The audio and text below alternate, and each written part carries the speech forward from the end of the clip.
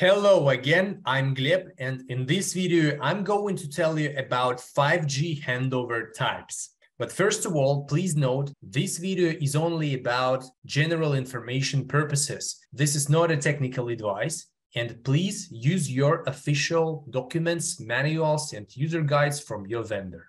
As you may know, there are so many handover types and names, and sometimes it is really hard to classify to understand the difference between, uh, let's say, coverage-based handovers and load balancing handovers and intra inter-cell handovers. So the main purpose of this video is try to make some, some kind of order, try to make some kind of classification and understand better handovers in 5G. But first of all, let's review main points of any handovers. You may know that any handovers must not be experienced in terms of quality for end users. For end users, there is no any differences how handovers will be worked out, what kind of KPIs network sells. They don't care about it. They only care about how to get very good reliable connectivity and service without any possible drops, without any visible and sensible reduction of throughput and latency. And the second point is that any 4G, 5G handovers,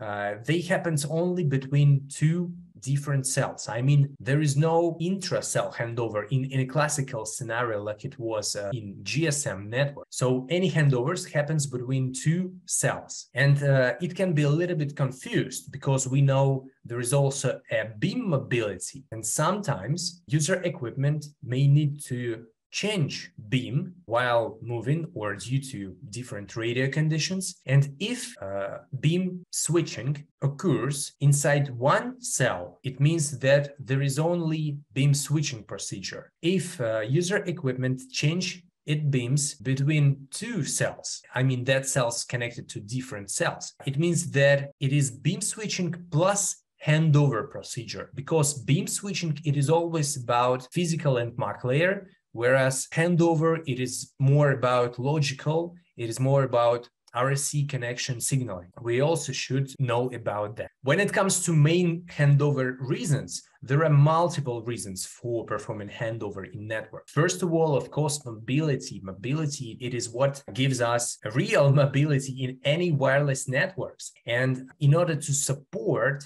optimal for network and optimal for user equipment, downlink uplink connection while user equipment moving, handovers may happen. That's basically one of the major reasons for any handovers is uh, user equipment mobility. Of course, when user equipment moves, downlink and uplink coverage quality can be degraded. Network should support downlink uplink connection, not only when user equipment moves, but also when uh, user equipment may experience different radio conditions because network is alive. Changes in radio conditions due to interference, due to a load situation in cells, in neighbor cells. That's why also network try to support uplink downlink connection and may have a decision on handover to based on based on that measurements. Also, there is a service-based handover. It is also possible to move users from one cell to another cell or another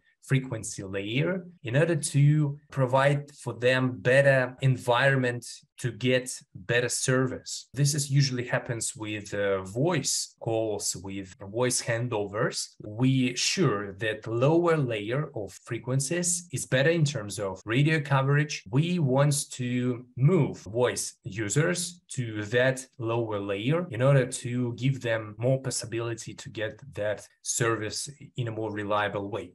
Also, not so common, but also possible is a distance based handover. It is handover which is uh, based on time and advanced thresholds. And if that threshold is higher certain numbers, network can evaluate, can perform a decision on handover to target cell. Next one is uh, also very common handover reason is load balancing. This may be kind of a feature for different networks. I think in 5G it is also very common Of course, this may be performed for offloading reasons to offload current cells based on different metrics such as PRB utilization or number of active users or number of connected RRC connected users. Based on that decision, if uh, current cell is overloaded, some part of users may be handled to another cells, to another bands, frequency bands, or even to another technologies. For example, from 5G overload 4G. And right now, let's try to classify handovers from network point of view. We all know that 5G has base station, which its name is G node B. And G node B may consist of different nodes, distributed units and centralized units. So it is also possible to have handovers between these nodes, and we may call them inter-DU or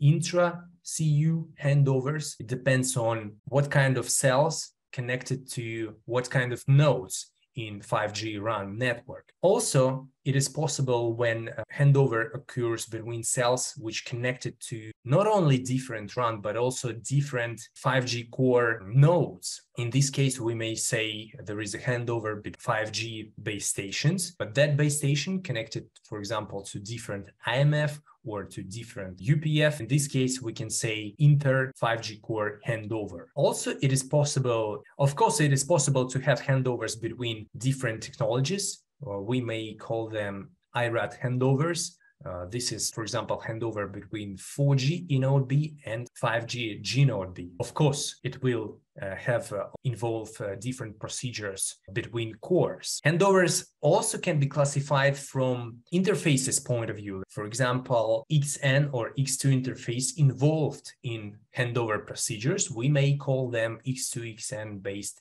handovers or if there is a handover between two different cores, between 4G core and 5G core, we may call it N26 based handover because this is interface between 5G AMF and 4G MME. And by this way, we emphasize what kind of interfaces, what kind of nodes involved in handover procedures. So it can be a little bit confused, but you may see it in different books, in different specifications, vendor manuals. But uh, this is only for the purpose to emphasize what kind of interfaces or what kind of nodes involved in handover procedures. But basically, physically, uh, from that point of view, there is no difference.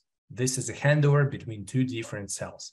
In case of dual connectivity or non-standalone operation, uh, there is no such kind of a classical 4G, 5G handovers. Basically, user equipment try to keep control plane and user plane connection as with the 4G anchor layer. And that anchor layer uh, may consist of multiple 4G cells. We may call them master cell group. So this master cell group consists of different 4G cells. This is a kind of an anchor because control plane is also goes through that cells. And NR cells, they just can be added or released or changed while user equipment keeps connection with 4G master cell groups. When user equipment changing LT cell, LT anchor cell, NR cells automatically released. So that's why it is really important to keep, to have a very good 4G anchor layer in order to avoid the situations when 5G nodes released from dual connectivity. There are also other types of handovers, very interesting. We will talk about it in my next videos, such as DAPS handover, or we can call it dual active protocol stack handover. It is when user equipment try to simultaneously receive and transmit data from source cell and from target cell. Of course, in this situation has additional requirements for user equipment side. Reduce handover interruption time, reduce latency. Also, there is a conditional handover. It is a handover when user equipment can be can be configured with two execution conditions options. That kind of handover can improve reliab- uh, reliability of handover procedures. Now let's look at this diagram. Here you can see two base stations, GNode B number one and GNode B number two. We can see that GNode B number one has centralized unit with control plane and user plane. and it has distributed units with multiple radio units. Let's suppose one radio unit has only one cell, like in my example for simplification.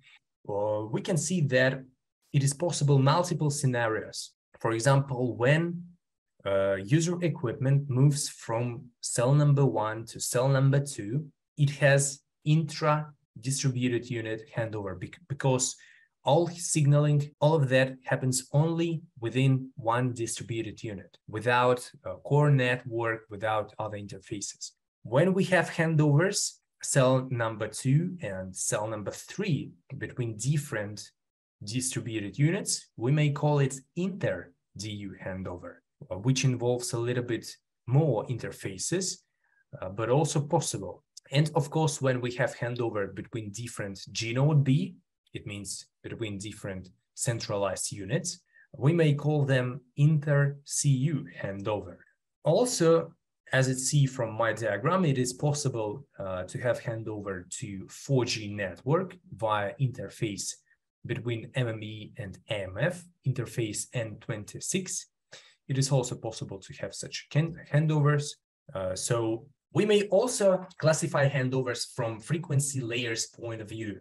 We may call handover between uh, different cells with the same frequencies. We may call it intra frequency. Uh, we may have handover between different cells and different frequencies. We may call it inter-frequency handover. And also there is a blind handover because usually in most of the cases, handover has three steps, measurement, uh, preparation, and execution. And blind handover, this is handover which has only preparation and execution phases, so without measurements, in order to reduce time, because measurements may happen from a few milliseconds to a few seconds. For some scenarios, it can be very useful. For example, for the scenarios of load balancing, like in my example, you can see when G node B, first of all, try to evaluate current load in current cell, then if that current load is higher than certain criteria, for example, higher than uh, PRB utilization or uh, number of active users and so on and so on. G node B try to check if blind handover feature is activated or deactivated. And if that activated, it may uh, perform blind handover, so handover without a long phase of measurements to particular cell. And usually uh, blind handover is used for load balancing to balance different layers, uh, offload high layers of frequencies, and to move users from high frequencies to lower frequencies. And in this case, we don't need any measurements basically, because uh, usually lower frequencies, they are more reliable and radio condition in is more stable. So that's why we can omit measurement phase.